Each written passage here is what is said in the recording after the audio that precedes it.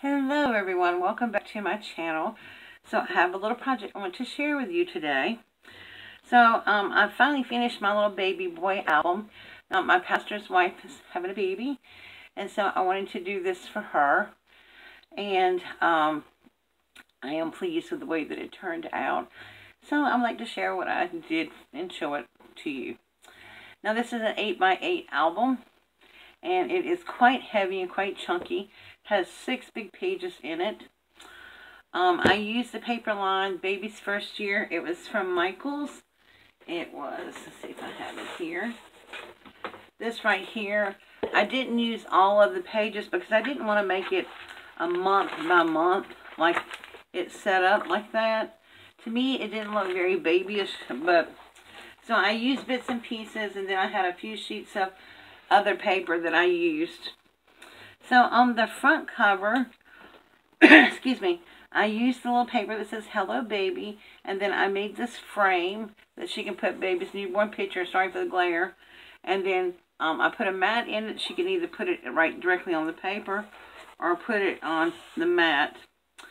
And I created this mat using this die right here. This is the die that I had gotten from Queen and Company to review and um, it makes like a pocket into like a gift bag so you can slip your card into it. I have a video that I did earlier on that. If I remember it, I will link it below. But I use this and then I, when I cut it out, of course, um, I went about an eighth of an inch beyond the stitch part because I really like the stitching on it. So I just measured an eighth of an inch, took this off, um, an eighth of an inch from the border and I used an X-Acto knife and a ruler and I cut the frame out. And then for the, the little uh, cover, I didn't have a piece of acetate big enough. So I took one of my clear bags and cut it down to size to fit in there. And then used foam tape and um, double-sided tape to put that on there. But I thought that came out really good. And then I just used some little buttons and some ribbon trim um, just to decorate the front page a little bit. Wanted to keep it kind of simple since it's a little boy. I definitely did not want to do frilly. I did use corner protectors on the front and the back covers. Um, you know, it gets used quite a bit, so I didn't want it to be ragged. On this side, I strung some buttons with some linen thread and put them on the side. I thought they were really cute, the little baby bottle and the little um, blocks and then just little blue and yellow and green buttons. Kind of match the paper. So on the inside cover, this was a, a page in the book, and I think there's about four or five of these pages actually. And it says welcome home, and it's got little house and trees and stuff on there. So I took another piece of this paper and cut the welcome home part out so it would be a little bit more pronounced because it was just kind of flat on the page and I just inked around it with some blue ink. I created this little mat right here using these lacy borders. I used the largest size, which is, uh, I don't know, um, about four inches. And I cut it twice, once on this with this baby boy paper and once with white and then I glued them together and I kind of offset it so that you can see a little bit of the white on the frame just to help the blue pop out against this busy page. Then I just had this little clear sticker and I put it on white cardstock and then bubble cut around that. So I thought that came out really cute. Then on this page, this was one of the cut parts in the um, paper and um, it has like you know your important stuff your dates times how long the baby was what was the weight and then it just says it's a boy down here. And then I just used um, one of my um, Fiskars punch to punch this little ruffle edge here. Then this opens up and it is magnetized. And then it has this little footprint mat here. I thought was really cute and then opening it up on the inside has a little mat here and then this big frame it says hello baby like the front and then each page has a mat on the inside it's a double mat um, so there's six books and so it has six little mats on each page. On each page has a mat in it. And that just slips back, slips back in here. On this page, I just created a just an overlapping page, then put a picture here. This stuck with a magnet, a picture here, and then two little pictures on the side here, and then a big picture in the middle. On this page, I just created this little half page. Um, uh, it just has a baby sticker down here, and then the blue print. This is magnetized. All my pages are magnetized. I'm not going to say that again. then I put a little journaling card in this little pocket on the inside. And this is where I started doing the months. Like this is one month, two months. And then this opens up like this. And then of course the map. On this page I just created a pocket. This was a cut apart that says you are my sunshine on it. That came from the line and I just created this little mat. It's got a little rubber ducky diaper pan and a little sticker that says Snuggles. And then this one, I used the next size down on the lacy frames and just created two little small picture things and just put some little voice stickers on there that actually came from the Dollar Tree.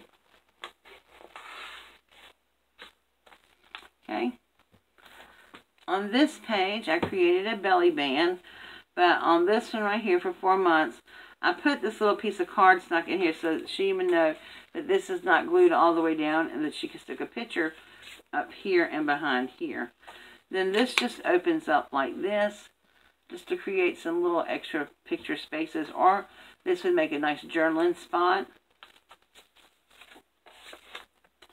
And then this is inside the belly band, just a little rubber ducky and then on the inside, I just have two little mats here, and then again on the back side. And then this just slips back in here like this. And the journaling page. And then this side right here has like a little layer teddy bear for five months. This opens up like this. Has a little journal card, in, here. I mean a picture mat in here. Um, and then it has a mat on this side over here. And this side over here, um, there's a big space on the front for a picture. This opens up. There's a little mat on the inside. And then I created this little 4x6 picture album that she could put more pictures in.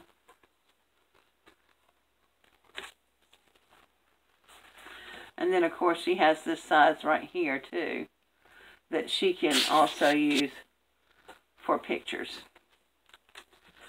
And then on this page, I created a waterfall. Uh, this lifts up like this, and it's just a little waterfall. It's not a pull tabby one. This one says, babies are a bit of stardust blown from the hand of God. On this page, it opens this way. It has a big mat here, and then two little mats on this side. And this page right here is held together by these two little diaper brads and a little tied. I'm not going to untie it because I finally got the bow tied right. But it has a big mat on the inside. And my camera is dying, so I'm trying to hurry with this. This is another belly band. On this, I have a little pocket that you can put lots of pictures and stuff in. Two mats on the inside, and the back also has like a little pocket. And then this just slides back in. And on this side, I just have pocket here, and then this folds down like this. Has a rubber ducky and then a big mat on the inside. And on this page is a pocket, and I just put, created lots of little mats for it. And then on the back, I just created this little welcome thing. This is welcome to the world, sweet baby. We're celebrating you today. And then these are kind of parts from the paper line, um, like growth chart and milestones. So I put those back there. There's lots of rooms for pictures in here and, and, and journaling spots and different things like that. So that is my album. Please let me know how you like it down in the comment section. And I am taking orders for albums. If you would like to have one, I can do 8x8, 6x6, any size you want, basically. My albums start at $50. And an album that is 8x8 with this many pages of stuff in runs about $125. But there again, if you're interested, please leave me a comment or message me and we can talk about it. And also, please make sure that you like this video.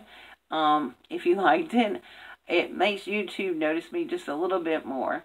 And if you haven't subscribed to my channel, please do that by hitting that little red button right there somewhere. and don't forget to tap the bell so you can be notified when I upload new videos. Thank you so much for watching, and I will see you all again soon. Bye-bye.